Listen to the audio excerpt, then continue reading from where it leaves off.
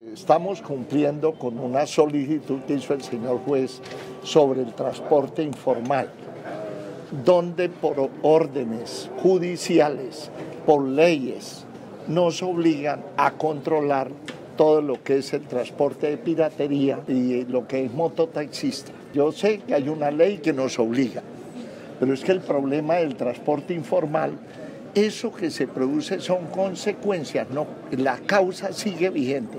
Usted reprime al transporte informal y el problema sigue porque la causa es que no hay trabajo en Colombia.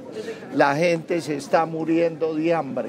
Hay 15 millones de colombianos expulsados de los circuitos económicos porque destruimos la producción si no hay producción, no hay transformación. Si no hay transformación, no hay transporte. No hay transporte, no hay consumo.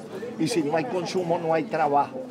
Es un círculo perverso que nos ha llevado la politiquería que destruyó todo lo que es la producción agropecuaria y la producción de pequeña y mediana industria. Lo que nosotros podemos, sin ser magos, con los recursos que tenemos, la capacidad que tenemos y con las leyes, sí hemos cumplido y de sobra.